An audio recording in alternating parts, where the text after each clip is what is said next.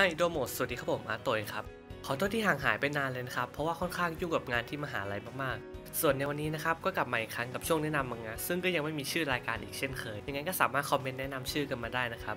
เดี๋ยววันนี้ผมจะมาแนะนำมังงะสัญชาติจีนอย่าง The Last Human มังงะแนว Action Survival โดยเรื่องราวกล่าวถึงตัวเอกอย่างจัวเทียนเฉินนะครับมนุษย์คนสุดท้ายบนโลกหลังจากที่เกิดเหตุการณ์การล่มสลายของมนุษยชาติขึ้นนะครับ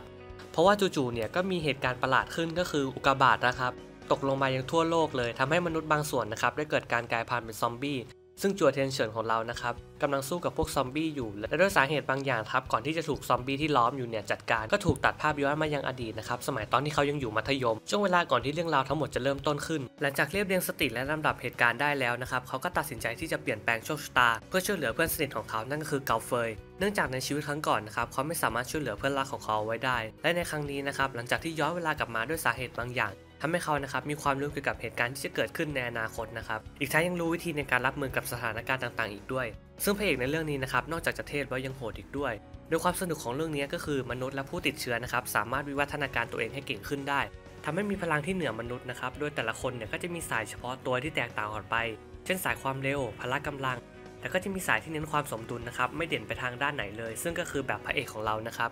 โดยพระเอกของเรานะครับก็เป็นถือว่าเป็นหนึ่งในสายนี้ ถ้าเปรียบเทียบกับเกม MOBA นะครับสายนี้อาจจะอ่อนแอเมื่อเทียบกับสายอื่นๆใน late game แต่ในช่วงต้นเกมนะครับถือว่าค่อนข้างดีเลย เพราะว่าสมรรถภาพร่างกายนะครับจะเพิ่มขึ้นทุกอย่าง ทั้งความเร็วความอดทน หรือพละกำลัง โดยรวมๆนะครับไม่ว่าจะเป็นทางด้านเนื้อหาฉาก actionภาพ การลงสีนะครับถือว่าผ่านเลยนะครับเนื้อเรื่องค่อนข้างเพลินเนื้อเรื่องก็สนุกดีครับ